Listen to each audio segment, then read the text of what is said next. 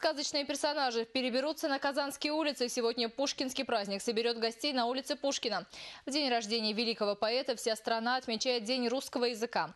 С этой даты поздравил татарстанцев председатель Госсовета Республики Фарид Мухаммедшин.